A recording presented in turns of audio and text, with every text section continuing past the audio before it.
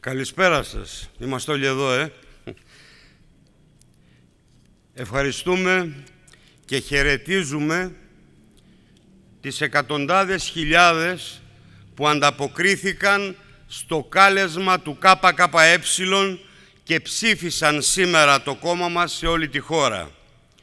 Χαιρετίζουμε το λαό και την νεολαία των μεγάλων αστικών κέντρων και ιδιαίτερα της μεγαλύτερης περιφέρειας της χώρας, της Αττικής, που ανέδειξαν το ΚΚΕ ξανά ως τρίτη δύναμη με μεγάλη διαφορά. Συνολικά, συνολικά το ΚΚΕ καταγράφει μια ακόμα σημαντική άνοδο σε σχέση με τις ευρωεκλογές του 2019 και σε σχέση με τις βουλευτικές εκλογές του 2023, όπως είχε τότε επίσης ανεβάσει τα ποσοστά του. Αυτό επιβεβαιώνει τους δεσμούς του ΚΚΕ με ευρύτερες λαϊκές δυνάμεις και αποδεικνύει ότι η ψήφος στο Κομμουνιστικό Κόμμα Ελλάδας εκφράζει πιο σταθερούς δεσμούς που έχουν διαμορφωθεί και έχουν δοκιμαστεί σε σημαντικούς αγώνες που έχουν προηγηθεί στη συνεχή ασταμάτητη προσπάθειά μας για άμεση επικοινωνία, διάλογο, συζήτηση με το λαό με διάφορες μορφές όλες τις μέρες του χρόνου και όχι μόνο προεκλογικά μέσα στους τόπους δουλειάς και στις γειτονιές. Επιβεβαιώνονται κάποιες θετικές διεργασίες που συντελούνται εδώ και μεγάλο χρονικό διάστημα και που εκφράστηκαν και στις βουλευτικές εκλογές και μέσα στο εργατικό λαϊκό κίνημα. Σταθεροποιείται και ενισχύεται ένα ρεύμα αμφισβήτησης της κυρίαρχης πολιτικής που σήμερα υλοποιεί η κυβέρνηση της Νέας Δημοκρατίας, προχωρά ο απεγκλωβισμός εργατικών λαϊκών δυνάμεων από τα αστικά κόμματα, η άνοδος του κύρους και η συμπόρευσή τους με το ΚΚΕ.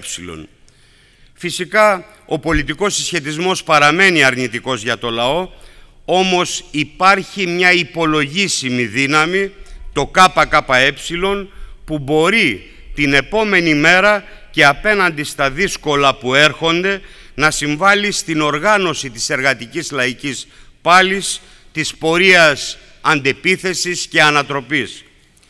Ο ρόλος του ΚΚΕ πάντα είναι πολύ μεγαλύτερος από τα εκάστοτε ποσοστά του, συνεπώς η ισχυροποίησή του οδηγεί σε πολλαπλάσια ισχυρούς αγώνες με μεγαλύτερη αποτελεσματικότητα στις συγκεκριμένες συνθήκες.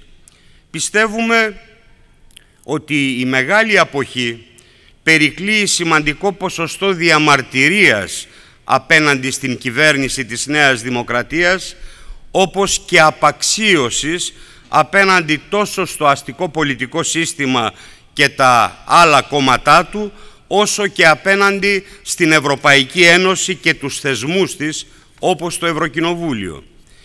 Η προεκλογική αντιπαράθεση με όρους εκφυλισμού και μακριά από τα κρίσιμα προβλήματα και κυρίως τις αιτίες τους ενίσχυσε αυτή την αποστροφή του λαού.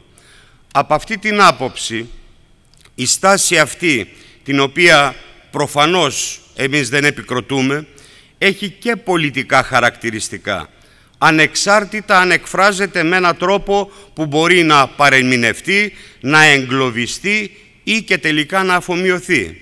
Ζητούμενο συνεπώς από εδώ και πέρα είναι αυτή η διαμαρτυρία ιδιαίτερα των νέων ανθρώπων να εκφραστεί με την ενεργό συμμετοχή τους μέσα στο κίνημα, στην οργανωμένη πάλι και διεκδίκηση, να αποκτήσει ριζοσπαστικά χαρακτηριστικά, να συναντηθεί συνολικά με την ανατρεπτική πολιτική του ΚΚΕ. Το κρίσιμο φυσικά πλέον είναι η επόμενη μέρα. Το ΚΚΕ θα καταθέσει τη δύναμη που του έδωσε ο λαός για να δυναμώσει η φωνή του και εκεί που παίρνονται οι αντιλαϊκές αποφάσεις όπως είναι το Ευρωκοινοβούλιο και πάνω απ' όλα για να οργανωθεί η εργατική λαϊκή πάλι στη χώρα μας. Από αύριο θα είναι εδώ οι δεσμεύσεις της Ευρωπαϊκής Ένωσης, τα ματωμένα πλεονάσματα, τα προαπαιτούμενα του Ταμείου Ανάκαμψης, οι δύο ιμπεριαλιστικοί πόλεμοι στους οποίους η χώρα μας βρίσκεται πολύ βαθιά μπλεγμένη.